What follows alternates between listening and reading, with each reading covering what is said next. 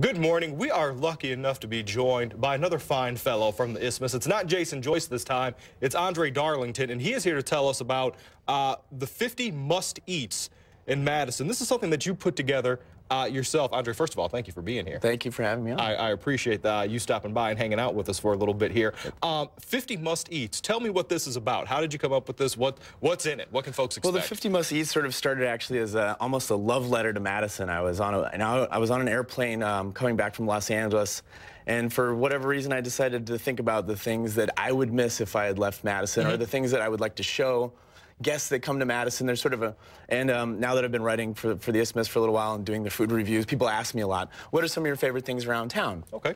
So I just decided to start jotting down on a napkin, what are some of my favorite things around town? Um, and it sort of turned into, um, I, I, sort of limited it to 50.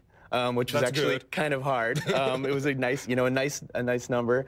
Um, and uh, it, it, sort of it, it blew up into this thing uh, that we're we're running into the into the dining guide, um, which came out on Thursday. And now uh, this this 50 must eats. It is. Uh, like you said, it's a collection of foods that you really get a kick out of. Now, you didn't sit down and eat all of this at one time. I did not. This was a, collected over a period of time. There were things I knew about already. Uh, things that I, I, think a lot of the things that are in the list, people, a lot of them people will recognize. Mm -hmm.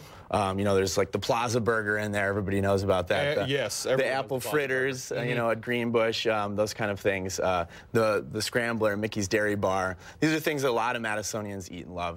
And then I hope that there's a few things that maybe people wouldn't recognize in there that may be a little more obscure that they can discover. Uh, give me an idea. You mentioned, because I think Madison does have some pretty iconic eateries.